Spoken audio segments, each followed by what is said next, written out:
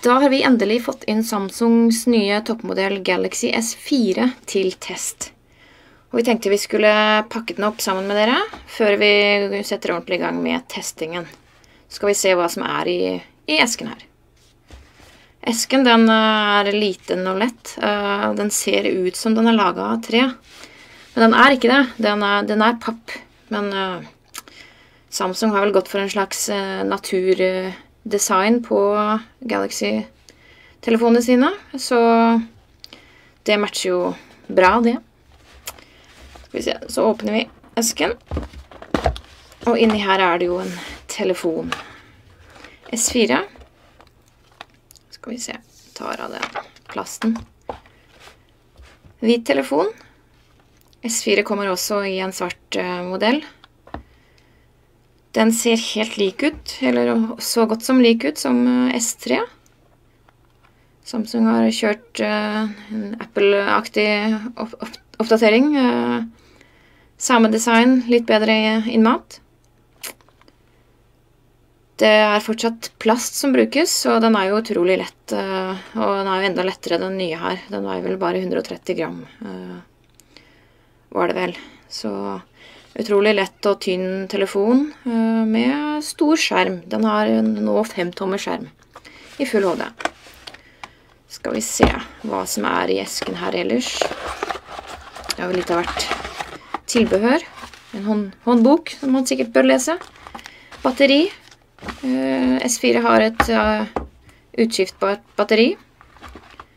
Her er det også en strømadapter, en, en mikro-USB-ladekabel, ørepropper og puter til øreproppene dersom du har mindre eller større ører. Så skal vi se. Sette i batteriet og skru på telefonen. Det er da dekselet på baksiden kan ganske enkelt tas av. Batteriet er større i S4 enn i S3. 2600 mAh skal det jo være.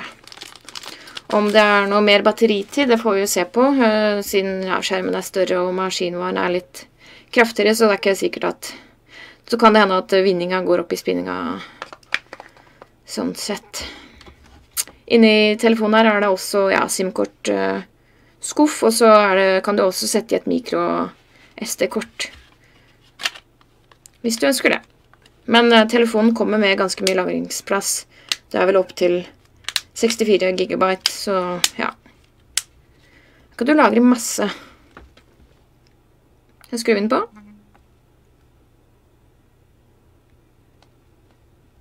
Det ser ut til å gå bra. Så langt.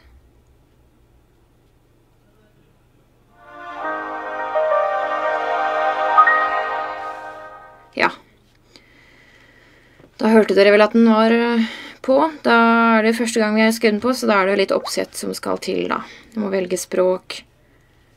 Uh, Sett i SIM-kort. Det hopper vi over nå. Um, ja, kobles på nett. Stille en klokke. Lese hele brukeravtalen. Det, det gjør vi senere. Så Så skal man jo også logge på med kontoen sin. Jeg er en Samsung-konto. Eh, så en Google-konto.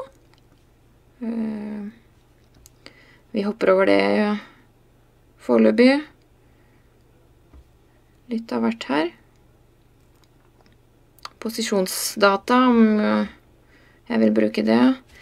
Skal jeg skrive navnet mitt, så telefonen veit hvem jeg er. Eh, skjermen er jo fem tommer stor, og det gikk utrolig lett å skrive her, da, det er jo en såpass stor skjerm at det, at det ikke er noe problem hvis man har litt store, eller store fingre. Eh, S4 kommer med en del nye funksjoner som Samsung har lagt til i program programvaren. Litt sånne fancy ting som du kan sette video på pause når du ser bort fra skjermen og sånn, og du kan rulle med bare øynene eh, på nettsider og litt sånn. Så vi får vel prøve det etter hvert her. Men uh, foreløpig skrur vi bare på telefonen. Og er vi i operativsystemet? Det er vel Android versjon 2.2. Nyeste ganske nyeste versjon. Med Samsung sitt TouchWiz-grensesnitt oppå. Og det ser jo ut som Ja. Ser ut som en Samsung Android-telefon. Det gikk jo ganske kjapt og smidig å bla rundt i operativsystemet. Så den skal vel være ganske kjapp, telefonen. Eh, får vi se hvor mye raskere den er eh, sammenligna med forrige og andre konkurrenter. Og det er jo en ganske ja, Det er jo en stor skjerm på telefonen, men den er jo ikke veldig stor, altså. Den er jo tynn. Uh, vi kan jo sammenligne med Sony sin toppmodell, Xperia Z. De er jo ganske like i, i størrelse. Uh, I tykkelse og ja, høyde og bredde. Den er, Sonyen er litt tyngre. Det, Samsung bruker jo plast i S4 og SIA i de alle Galaxy-telefonene. Som ja, setter sitt preg på ja, vekt og utseende, design, om man, ja, om man liker det eller ikke. Uh, så det er en smakssak.